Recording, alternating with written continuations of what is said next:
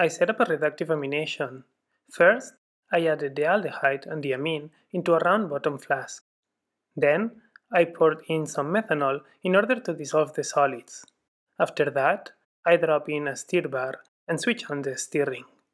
In order to accelerate the formation of the imine or iminium ion, I also added a few drops of acetic acid. I was gonna add the reducing agent, but instead thought it was a good time for a coffee break.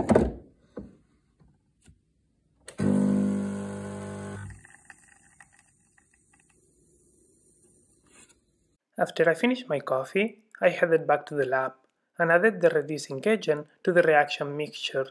At this point, it didn't really matter if all the aldehyde had been consumed because one main advantage of sodium cyanoborohydride as a reducing agent is its ability to reduce the generated imine or iminium ion into the corresponding amine, leaving the aldehyde untouched.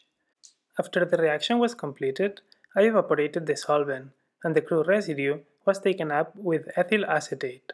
I then rinsed the organic layer with a saturated solution of potassium carbonate. I dried the resulting organic extract with magnesium sulfate and filtered the solution through a cotton plug to remove the drying agent. After that, I evaporated the solvent. And since this was a final product, I further purified it by preparative HPLC.